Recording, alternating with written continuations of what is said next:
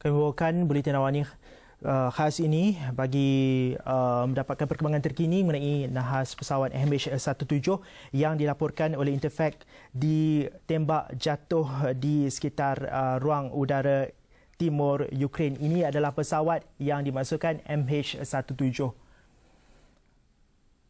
ia merupakan buatan Boeing dan Boeing dalam uh, laporan uh, oleh Reuters mem- memaklumkan pihaknya sedang menyiasat apa yang sedang berlaku, apa yang sudah pun berlaku dan mendapatkan cuba untuk mendapatkan perkembangan ataupun maklumat yang sebetulnya mengenai apa yang berlaku. Dan ini merupakan sumber daripada AP yang uh, menunjukkan situasi ketika mana pesawat MH17 jatuh dan sumber saksi uh, yang uh, dipetik oleh Reuters memaklumkan bahawa uh, korespondennya terlihat dapat melihat bangkai pesawat uh, terbakar dan uh, mayat di kawasan daratan. Ini yang merupakan laluan M MH17 yang sepatutnya uh, berlepas eh, sepatutnya sampai di Kuala Lumpur pada sekitar uh, jam 6.15 pagi nanti. Tetapi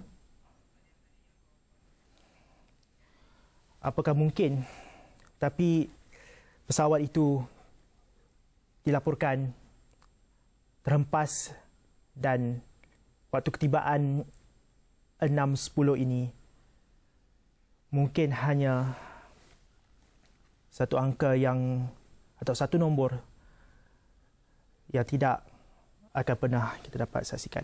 Kalau kita tahu, uh, sebenarnya kita tahu Esrawani sering melaporkan juga yang mengenai perkembangan di sekitar timur Ukraine. Di mana di timur Ukraine, pergolakan uh, perebutan kuasa sedang berlaku di, di kawasan itu, di wilayah itu. Di mana pihak berkuasa Ukraine um, mahu memastikan bahawa wilayah itu kekal bersama Ukraine. Sementara pihak uh, pro-Rusia, separatist uh, pro-Rusia pula mahukan uh, wilayah itu bebas daripada Ukraine. Dan uh, buat ketika ini, beberapa kawasan di timur Ukraine sudah pun dikuasai oleh separatist pro-Rusia.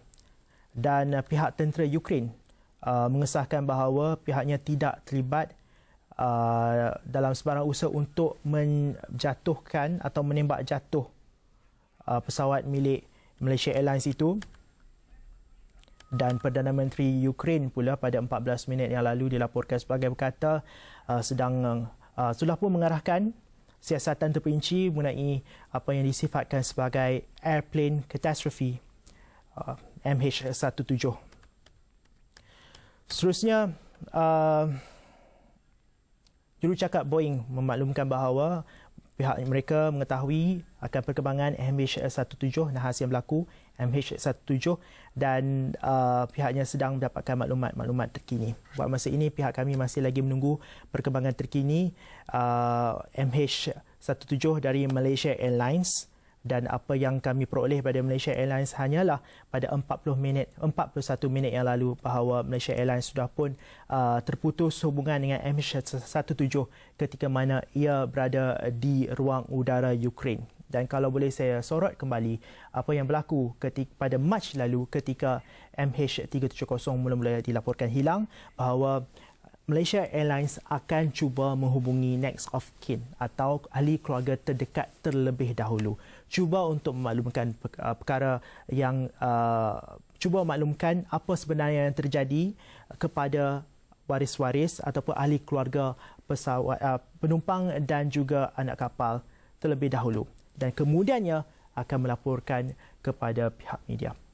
Dan ini merupakan uh, uh, uh, apa yang akan dilakukan oleh Malaysia Airlines dan ini adalah um, tweet oleh Malaysia Airlines yang disiarkan 41 minit yang lalu.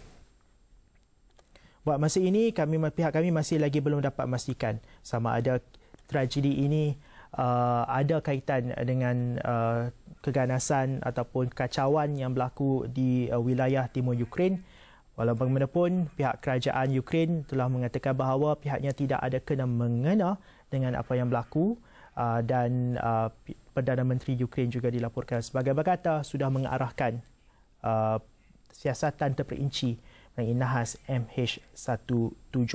MH17 membawa um, 280 penumpang dan 15 kru atau 15 anak kapal dilaporkan bahawa ia ditembak jatuh oleh uh, separatis pro Rusia uh, menggunakan uh, peluru berpandu darat ke udara. Peluru berpandu tersebut dinamakan sebagai PAK dan Malaysia Airlines sahkan terputus hubungan di ruang udara Ukraine.